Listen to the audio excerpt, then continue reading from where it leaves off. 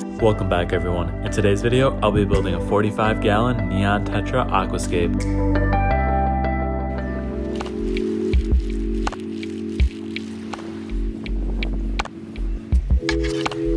I bought an old wooden tank for $45 at a garage sale, so before I put fish in it, I'll be painting it black to match my apartment.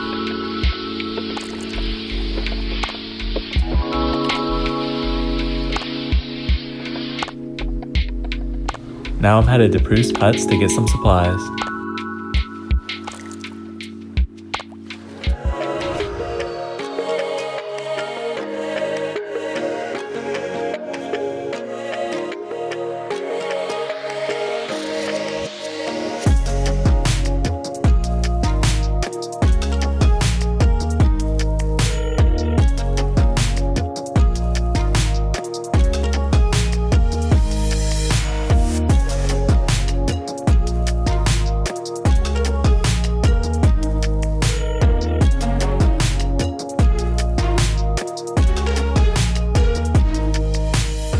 I have over 50 pounds of dragonstone, so now all I need is substrate and live plants.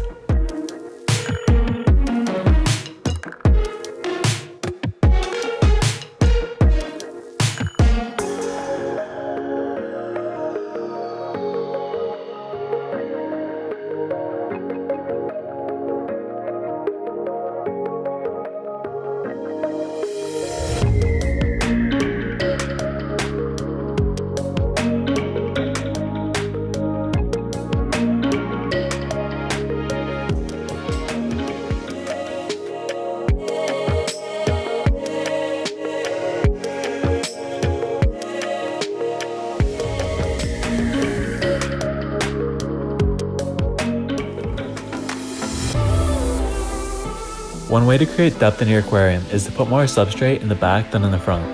I have 4 inches of gravel in the back and 1 inch in the front.